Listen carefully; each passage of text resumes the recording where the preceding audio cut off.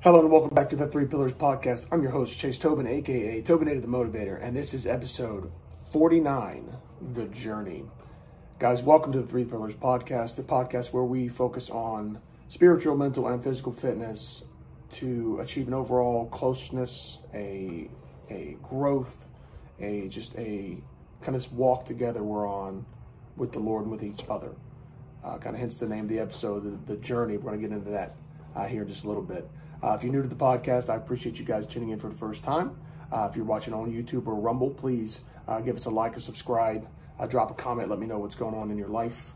Uh, if you're listening to on the uh, podcast platforms, Apple, Spotify, Amazon, Anchor, etc., you know, follow us everywhere you're at and share it to the winds. I really would appreciate that. Um, it's been awesome so far, guys. We are almost to 52 episodes. That was the initial goal uh, to drop 52 little nuggets, you know, one a week that you guys can go back and listen to at your leisure uh, and share it with whoever you feel is, uh, is good. But we're going to keep going. Uh, this is going to be my kind of season one, as it were, uh, this first year. So uh, it's been an incredible journey. So all that being said, we're going to just dive right in like we always do. Start off with a quick word of prayer, and then we're going to tackle this this uh, this topic. All right. Heavenly Father, thank you for today. Thank you for bring us together once again. Thank you for being our guide on this journey of life, Lord. Lord, I ask that you bless anybody tuning into this podcast tonight. Lord, I ask that you guide and direct them just as you guide and direct me. Lord, I ask that you give me the words to say, that anyone tuning in have the eyes to see and ears to hear, and the heart to embrace uh, anything that we get into that grows us all closer to you, Lord. In your holy name, amen. All right. So the journey. Uh, this journey is not. I'm not, not talking about the podcast journey. but throw that out first and foremost. We're going to be discussing this this uh, this journey towards goals. All right. There's an old saying. You know, the view from the top of the mountain. While it is beautiful, what's the point of of it if you're up there all by yourself? If you're up there alone? So that's what I'm getting at when I'm talking about the journey. I want you at the top of the mountain. All right, I want to be at the top of the mountain. I'm nowhere close, but the point is we get there together. If you're, like I was in the Marine Corps, I found out very quickly that you cannot get through the Marine Corps alone. There's no way to do it. There's always something. I mean, there's obviously things you can do, but if you want to be successful, you have to have uh, unit cohesion, whether it's your fire team, your squad, your platoon, your company, etc. All right, you've got to have unit cohesion, or you won't be successful. You won't be as successful as you want to be. Let's put it that way. There are some people who can slime by. That's in any any profession, right? There's people who can kind of slime by and do stuff and step on people, but really, at the end of the day, when they go back and look, they're not as successful as they could be if they had brought more people with them. And that's what we're what we get into. We're talking about leadership. If you're going to go on a journey, if you're going to learn new skills and climb this mountain, it behooves you to impart that knowledge onto people who are, you know, if they're your subordinates or if they're your your peers or whoever don't have that skill. That way, everybody can get at least something. We can all move up together. Because the more of us that are climbing this thing, the more help we have along the way. If we're talking about a, a physical fitness goal, you know, I want to be able to, you know, run this fast, lift this much, you know, what whatever your goal is. I want to be an Olympic athlete, let's say. That's going to be very difficult for you to do by yourself. You need to have a team of coaches. You need to be able to eat right, do all these things. And when you finally get on that, you know, gold medal podium, you can look back at all the people who were there to help you, and they're, they're it's like they're on the podium with you because they they helped you get to that level. You put in the work, they put in the work. You do it together, you get this grand product. Right? Same thing if you're, you know, you hit a, a big PR on a lift, or if you're, uh, you know, you hit you hit a you smash a run time or anything like that. You hit a you hit a diet goal and you've hit your your weight goal. You you've crushed uh, crushed that, but it's maybe because you had help. and you and you had people keeping you accountable and you had people there along the way and now you can take what you have learned and give it to other people and help them along that doesn't just because you just because you place somewhere doesn't necessarily mean you are like a coach right but you still have some kind of knowledge and if you hone that knowledge more then you become you know more credible more of a coach right just because you step on stage in a, in a bodybuilding competition doesn't mean you're all, automatically a, a fitness expert or a bodybuilder, right? You up there, maybe you didn't place, maybe you took 11th out of, you know, 15. You still put in some of the work, but you can always improve, right? Even that person who's first, you know, if they're humble, uh, will realize, hey, I couldn't do this without my coaches. I couldn't do this without people keep me accountable, my family, what have you. If they're a big, you know, social media star, maybe that maybe their accountability is is their fans, right? I'm doing this for you guys. Like, you know, hopefully that there's truth to that. When you talk about mental, uh, the this mental journey, everybody's got their struggles, right? But we can all relate on some plane with other people. You know, oh man, a rock went through my windshield and I had to pay X amount because my deductible was high and it, it set me back a little bit it's just oh, it's driving me nuts. Like how many go go to a Safelite or a, or some gla- or auto glass repair shop and see how many people have had rocks go through their windshield in a day. People can relate no more than what you think. This is this is across the spectrum. If you wanted to get into uh, even if you get dabble in a little bit of politics, right, you'll find that a lot of people agree on a lot more things than than they let on.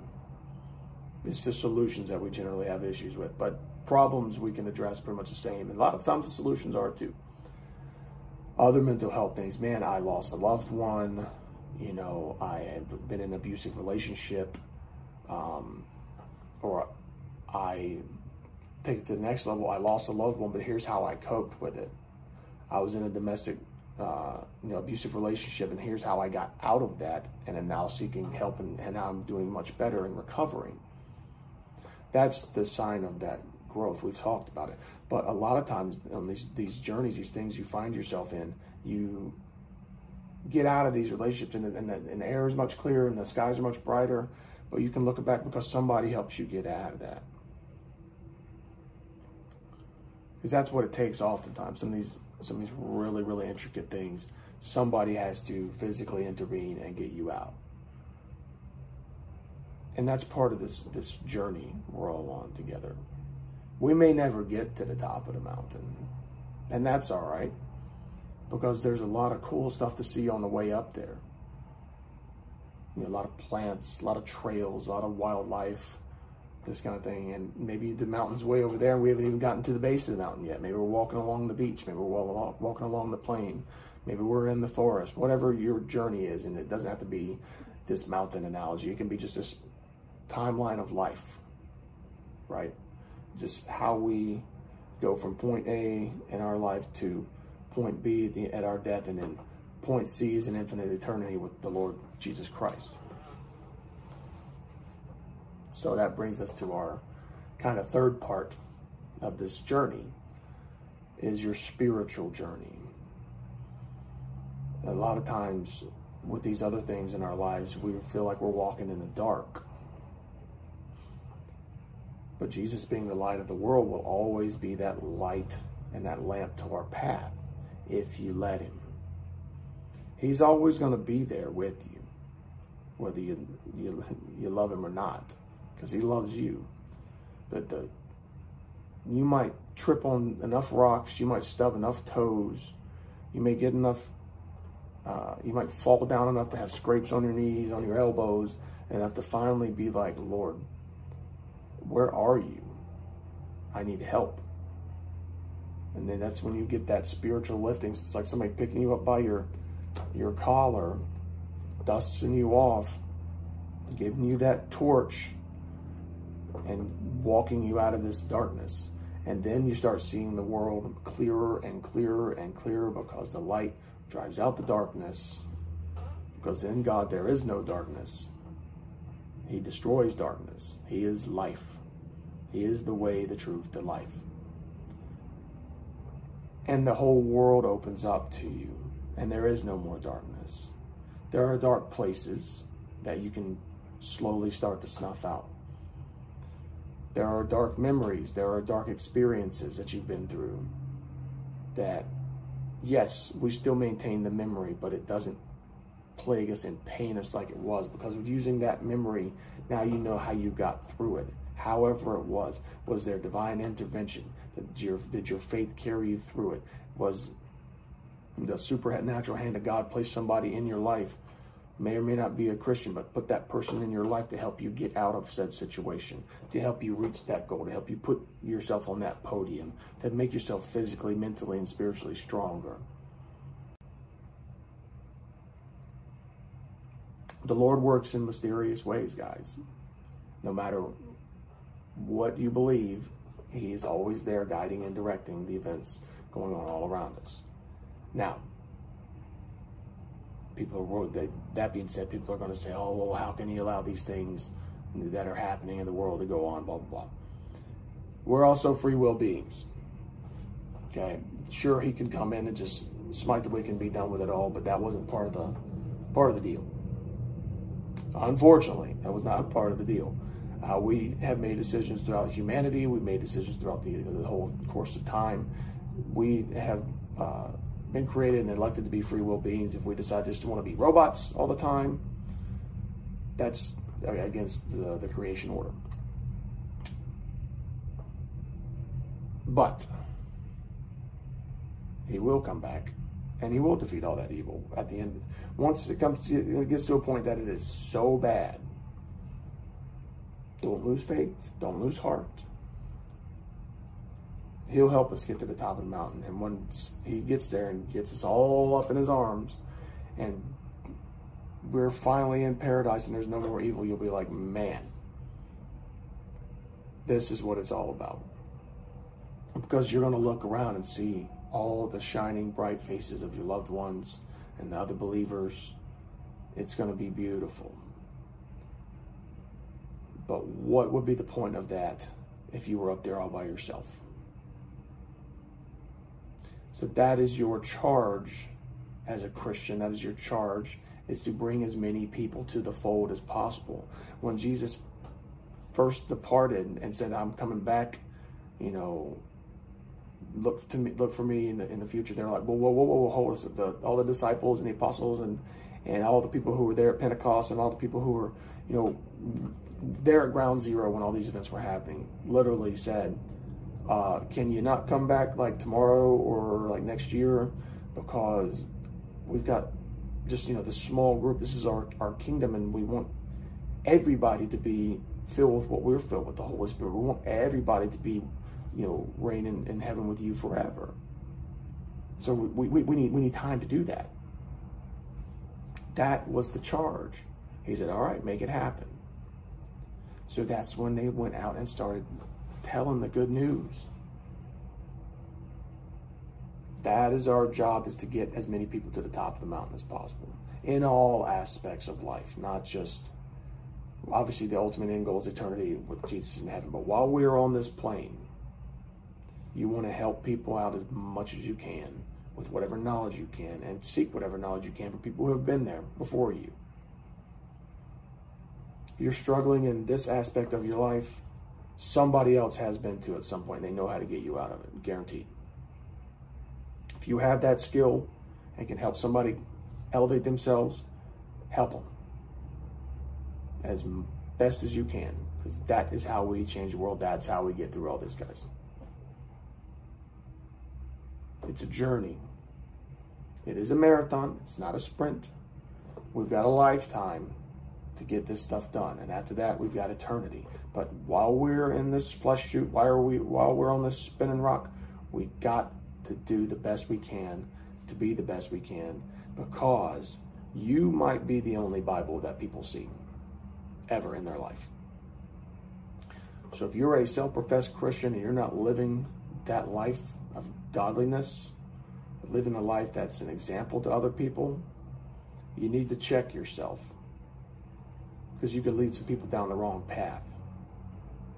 in a quickness because a lot of people have never even picked the thing up.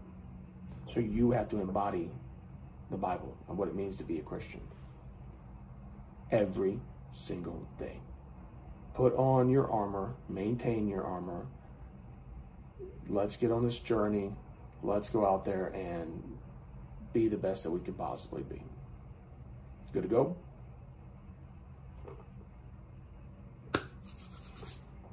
That's all I got. That's all I got this week, ladies and gents. Short, down, dirty, to the point.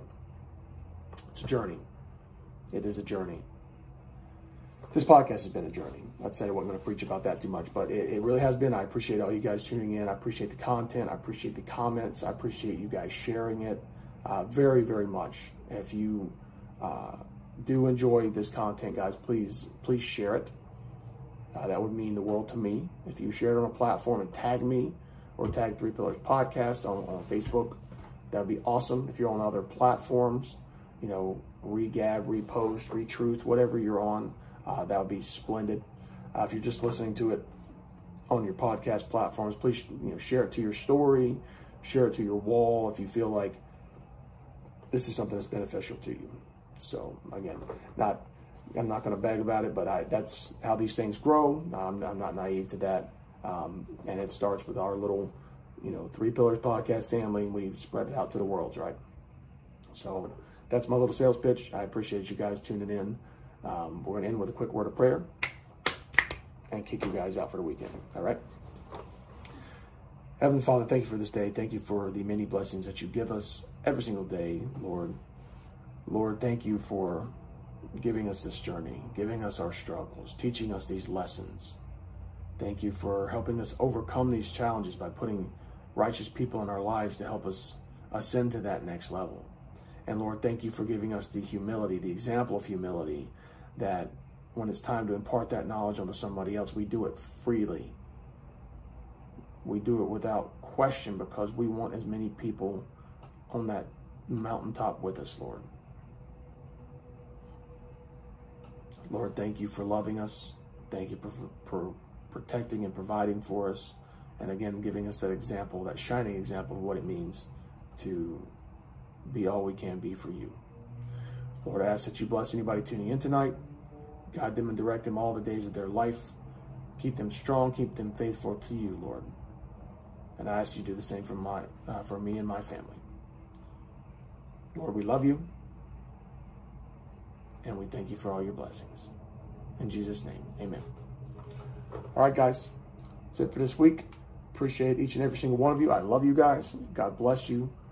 If you got any questions, comments, concerns, drop them in the comments, and we'll talk to you soon.